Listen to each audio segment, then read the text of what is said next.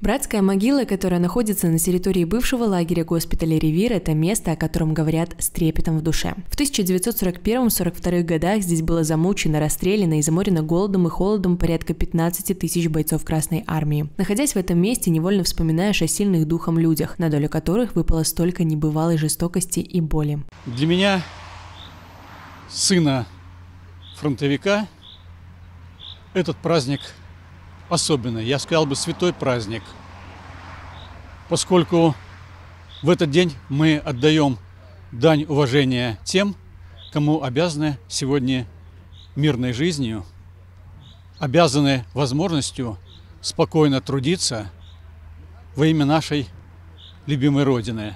Сегодня мы возлагаем цветы в честь Дня Победы, в честь воинов-победителей, которые отстояли нашу родину э, от немецко-фашистских захватчиков и дали нам возможность жить и трудиться сегодня в мирной стране.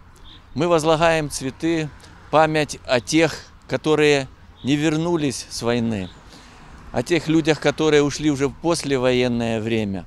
Мы должны всегда помнить, какой ценой завоевана победа. Ведь до тех пор, пока жива память о героях Великой Отечественной войны, их подвигов живы и они.